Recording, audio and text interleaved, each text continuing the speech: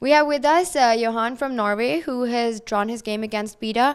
Um, now, Johan, it seemed like you were doing pretty well out of the opening. A draw with Svidler is always a good result, but maybe a bit bittersweet here?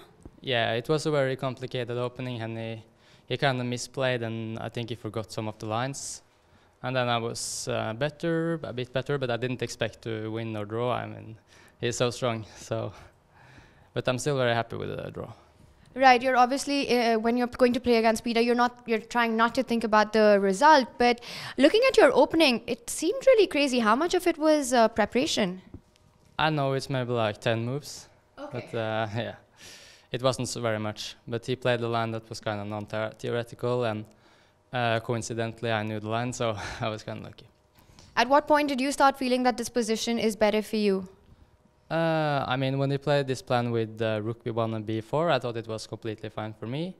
And when he played like uh, knight takes d5, uh, on I don't know which move, but but then I thought I was slightly better. And then when I won the pawn, I thought I was even more better. But he has chances, so yeah, it was never a clear win, so it's fine.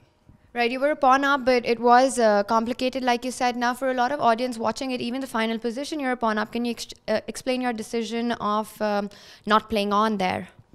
Yeah, I thought I thought I was uh, much better, when, but when he played king f1, I thought I saw that he could play rook c3 and then rook c5, and if I'm not careful, I might I might lose. So I thought it was uh, the best to just agree to a draw, even though there was maybe some slight chances. But okay, the final position is probably just wrong with uh, correct play. So, and also if he if I play carelessly, he might even win my f pawn, and then okay, I will be mad. Right, like you mean this idea of f5, bishop h6, f5 uh, was not working at the end because if you're able to get bishop h6, f5, f4, you have some chances there. Yeah, if I trade the f pawn for the g pawn, of course I'm much better, but he can block it with e3, and then his knight on c6 is quite strong, so I, I didn't really see any point to play on. All right, well, thank you. Still a great result against Peter, and wish you all the best.